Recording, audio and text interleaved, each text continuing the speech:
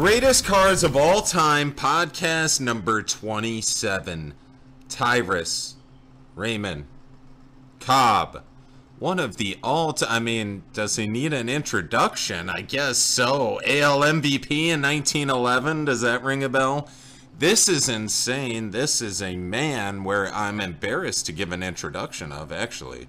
One of the all time greats legends of the sport. Would the game even be close to the same as it is today without this man making his contribution to baseball? He definitely had an impact. I will say that for sure.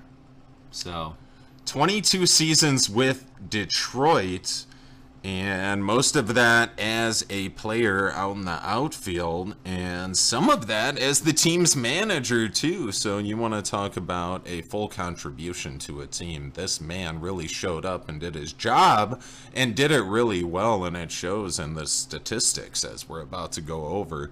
And how about some beautiful cards to look at, too? well, the card card's very cool. Um, I think in a minute here we'll go over some details on the the card and the Yes. series, but to dive a little bit into Ty Cobb and his career, yeah, you're right. Um, there's there's a lot you can say about him. Uh, as far as some of the stats that actually stand out, obviously the batting average is the most significant thing. He still has the highest uh, career batting average in Major League Baseball at 366. That's crazy, right? Yeah, that that's pretty significant. Um, and the thing was, until recently, or you know, over the years, his some of his stats have been beaten, but for a long time, he was in the top in almost all of the categories in offense. We're talking batting average, on base percentage, slugging percentage, and if you look through the years that he actually played, he dominated and and was number one in a lot of those categories in every single year that he played. So he was a very dominant player. Uh, there's a lot you can say about him. What what what do you have to say about what's or I guess what stands out to you when you think about Ty Cobb and his career? What really jumps out at you? I think the most alarming thing that stands out to me when it comes to Ty Cobb's career is that batting average that you're talking about. It's really hard to hold a batting average like that that high. You don't even see those in a single season nowadays. Maybe every once in a while, but Right. not consistently. So that's really what stands out to me. And he played a long time too, right? I And he played a long time against some really good oh players, to too. 1928. So I mean, that was a long career. He ended up having 4,189 hits. You know, people talk about hitting that 3,000 hit mark. He had 4,189 hits. Although, actually, I wasn't going to go there, but that is actually an asterisk.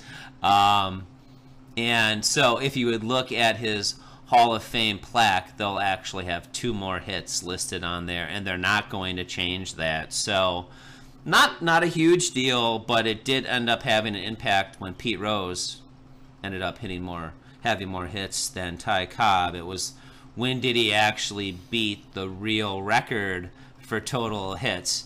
You know, a lot of people think it was when he had 4,193 hits, but actually it should have been when Pete Rose had 4,190 hits. So, you know, big picture, it's not a huge deal, but it's my understanding that that would have been another batting title that Ty Cobb actually would not have won because it was so close between him and first when that one particular year where they I think they double counted a double header or something like that where they gave him two extra hits. Slightly better batting average than who took second. I, at this point I, I can't recall who that was but you know that's something to point out it's not a big deal but it is interesting that you know baseball reference changed the number of hits and some other uh, prominent organizations basically state that he had 4189 but Always changing the rules. Hall of Fame. Well, you know, they basically said, you know, it's it's been too long. There's there's a, a statute limitations on how long you can come back and change the status, something like that. So again, it's it's not a big deal. It's just something to point out. As far as runs, he also was number one in runs for a long time until Rickey Henderson passed him. So you know, that's another cool thing about Ty Cobb is, you know, he basically did it all. He had he scored runs. He had a batting average. Um, I love players like that. Yeah, all around great baseball players, guys you want on your team, producing any way possible. Just get on base, get around, move players over. Whatever you're contributing to the team, do it to the best of your abilities. And Ty Cobb exemplified that. Ty Cobb, and then you know to talk about his career and the fact he was in, inducted into the Hall of Fame in 1936, which was the first, the inaugural Hall of Fame induction. So How cool was- is that? Yeah, I, I I have here he received 226 or I'm sorry, 222 out of the 226 That's right. Votes that were possible that year in the inaugural Baseball Hall of Fame ballot, and no other player got more than that until Tom Seaver in 1992. So, I mean, Ty Cobb, what a legend. It was almost unanimous. Yeah, exactly. So people talk about not liking Ty Cobb or what have you, and I think that's kind of fake news.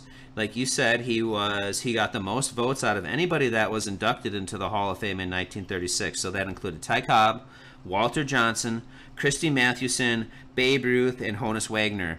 And to act like Ty Cobb wasn't popular or people hated him or whatever, I mean, maybe you could say they were just discounting his personality or something and they voted for him just based off of his game. But again i think that's kind of all fake news. I do not think he was as hated as a lot of people like to say. Um, it's kind of famous in the field of dreams um, that movie where uh, you know they acted like you know everybody else was there but ty cobb was an asshole so, so nobody wanted him. You know that was actually in the movie.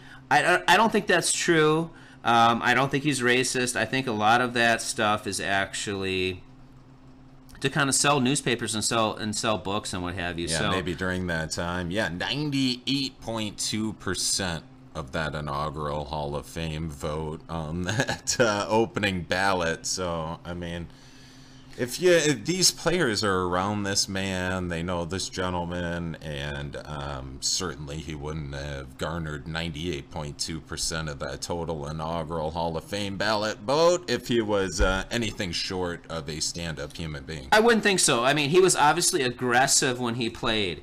You know, he kind of he came up with something called a men- mental hazard. He was definitely a different player. He was not like your typical player out there just going out there to have a good time. He was going out there to win. I mean, there's absolutely no doubt about that. But he wasn't this evil guy that everybody tries to paint him. He didn't go out there and try to spike every single person at the bases. If you gave him a spot to actually to, to slide into, he he would prefer to try to do that. He's trying to avoid a tag. He's not trying to spike people, and he would get spiked himself sliding into bases when people would come down on him. So you know that was all exaggerated. Hey man, it's Um, a physical sport out there. it was, and you know, it was a different time. And like I said, you know, he kind of coined this thing, mental hazard. He definitely came out there with a mental game. He came out there to try to distract people. He came out there with that mentality, which was a little bit different for the time. But to think about modern sports right now, that's how everybody plays. Everybody's got the mind game. Everybody's doing things like that. It's just it Any was something new at the Yeah. time, right? He he that was the thing. He was competitive and he didn't want to lose. Born in 1886 in Georgia, known as the Georgia Peach, and he died in Georgia as well as 70 years young. I'm sorry, 74 years young. Um, born and raised in Georgia, died in Georgia, and I think uh, we should take a good look at these T201s. 1911 T201 Mecca cigarette double fold baseball cards featuring Ty Cobb. Actually, this card is featuring two players, and that's hence the name Double Folds. So there are actually 50 cards in the set, but 100 players because there are two players on each card. Something interesting about this set is actually, you know, the double folds. You can actually see it when you look at this. It's designed to be folded over so you can have basically two players on one card. So Sure, yeah. kind of unique feature. These were cigarette pack cards. These were actually in the Mecca uh, Cigarettes, which was actually a United States company as far as the cigarette company. One other thing that's very unique is this was, I think, the first set that actually had stats on the card. I love the printing.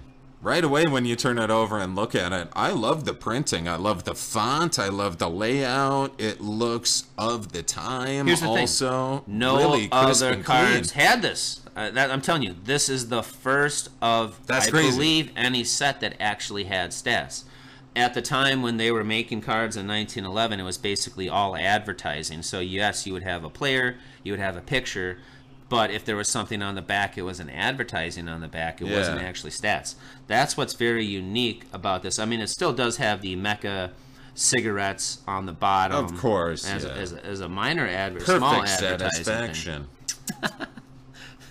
doctor approved or whatever they say. Doctor- but um, there are actually stats on here for both players and this is the i believe this is the first time any set actually had stats on the card that is something that's actually pretty cool and to me that that's under that's an underappreciated aspect of the set There you go. Tyrus R. Cobb. Literally a Ty Cobb. I'm kind of blown away that we're holding this and looking at this, you know. well Nice to have in the collection. It's super cool. It's- it's not the Something best to Ty talk about.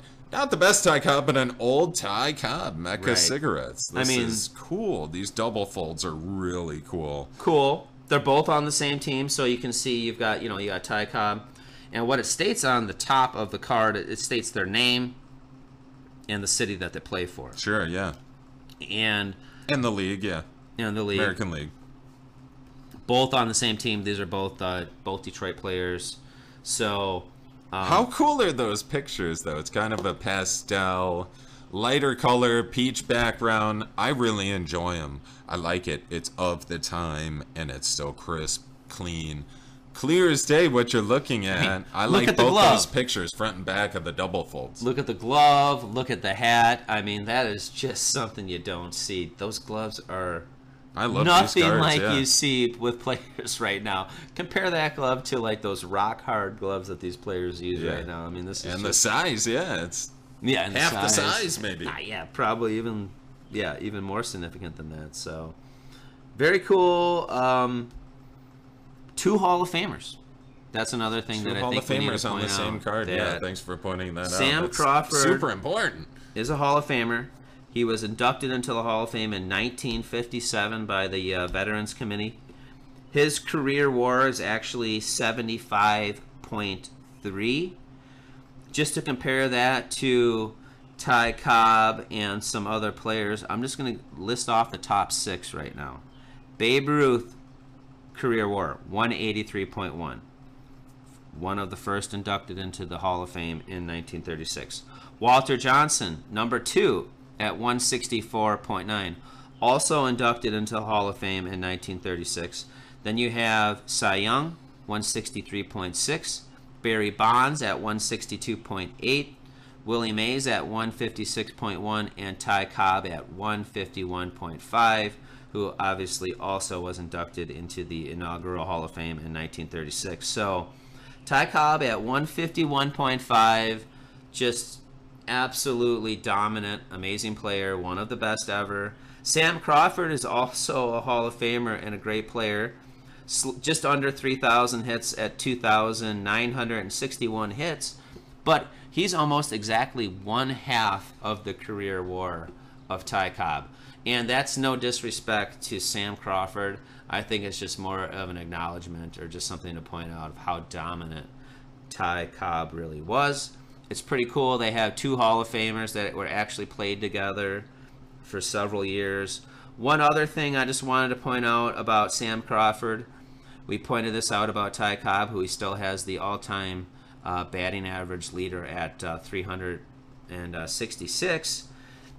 Sam Crawford actually still has the league lead in triples, career triples at 309. And there were several different years, uh, I think six different seasons throughout his career where he led the league in triples. So, you know, during the dead ball era, that was kind of a significant thing. They weren't hitting home runs. He was hitting balls into gaps. He was fast. He was getting triples. Six different times he led um, the league in in triples.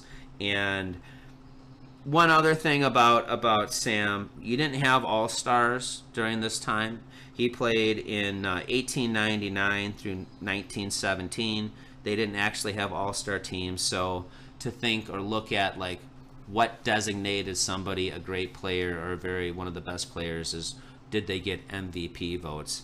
And actually, he re- four different years he received MVP votes, and I'm not positive on this, so you know if somebody wants to double check me, they can. But I believe Ty Cobb received. We need a graphic. Is that Maybe. We need a graphic. Let's do a graphic. How many years did Ty Cobb actually receive MVP votes, and how many years did Sam Crawford receive MVP votes? Cue the graphic. I think they're the same. I think four years for Sam Crawford. I believe four different years for for Tyrus Cobb. I could be wrong at that. Let's let's cue those graphics and uh, maybe I'm right. Now, what I do want to talk about how good these cards look in these slabs. They happen to be SGCs. Both of them are graded 30s. You know, obviously both of them are 1911 T201 Mecca Cigarette, uh, Crawford Cobb, double folds. Beautiful, beautiful cards. But uh, can you tell us about the 30 grading? What is that? You know- 30? I know they're SGC 2s, is what I would call in good condition, as these slabs say. They do look great in tuxedos. I always love it, but It's uh, that's, it's that's 30. it's not something that they use anymore. I know it's something that they used to use, and honestly, I'm not sure why they put 30 and then good in two. So SGC 2s. They're both very different in my opinion. You've got one that looks like super clean and more pristine. The corners look nicer. The surface the surface looks nicer. But when you flip it over and you look on the back, Some card loss there. it's got some card loss, Some paper so loss, yeah. paper loss, you know. But everything else looks beautiful. And then you look on the other one, it definitely has more wear and tear. Yeah, maybe not as crisp, Yeah, but some corners. natural wear and tear, Right. some some some wear down on the edges and corners, Right. but it is all in one piece, and it's True. kind of And- uh, And here's the thing about the fold. kind of so a decent shape actually. normally you get absolutely crushed if there's a fold in your card. They actually do take into consideration the fact that these cards were designed to be folded. So Sure, yeah. they don't I give you- appreciate that. I they, like that. They should. I mean, again, this card came folded when you actually got it. If you're going to knock somebody and say it's not in good shape, it it was folded when they got the card out of a cigarette pack. So you have to take that into consideration. Folded when received. in a cigarette pack, okay? when I opened it. But um, you know, if there's excess damage or paper loss or things like that, so you know, you can see on this one, it almost looks like it wasn't folded. In the other one, it's got like these rounded corners, kind of where it was folded. I don't know if that's just a different. This cut. day and age, when collecting sports cards, you really have to be appreciative of that. Uh, like you said, they came in cigarette packs and folded already. So what are you gonna do? You're gonna unfold it, fold it, throw it in the trash, cut them up. right. They are not treated like fresh sports packs. Opening those up, ripping those open, uh, put it in a penny sleeve right away. No, these came out No. of cigarette packs. They weren't treated as you know a collectible item. They would No. they would be extra garbage, is what it is in your cigarette pack. So just to kind of refresh on the set, it's this is the 1911 T201 Mecca double folds. There are 50 different cards, but 100 players. Most of the sets, not all of the sets, most of the sets were same team, two different players, not all of them. This is not the only set that had the folding. Uh, in 1955, Topps came out with a, a set that was called a double header. They actually used the same similar te- technology or concept, I would say, where they had two different players on one card. But again, this is the first set that I know of that actually had stats on the back of the card. That is something that I think is fairly significant. And if that is true, you know, somebody point me out, tell me I'm wrong, show me I'm wrong in the comments below. You know, did any other set actually have player stats before 1911? And if in fact this is the first set that actually had player stats That's on the card, that is something significant, very cool. And the fact that there are two Hall of Famers on one card, you That's know, something. that's cool. It takes a little bit away from the Ty Cobb with Ty Cobb being on the back of the card. I cannot deny that. That definitely takes something away from it. But um, you, you have another Hall of Famer on the front, and it is still a Ty Cobb. You can see his stats on the back. You can see his picture on the back. I, I really I really love these old cards. Some of my this is these two cards are probably my two favorite cards.